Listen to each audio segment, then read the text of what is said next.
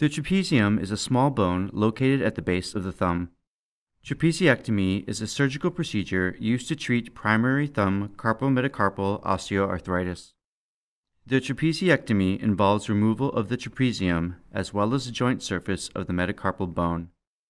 One third of the flexor carpi radialis tendon is harvested and mobilized to its insertion on the second metacarpal base.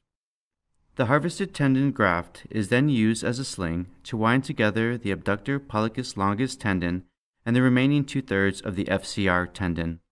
It is rolled and stitched to provide structural support in the gap created at the base of the first metacarpal. Trapeziectomy is not regularly done by itself as it can cause weakening of the thumb and collapse the first metacarpal bone.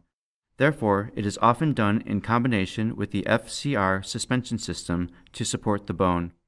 This is known as the Weilby technique.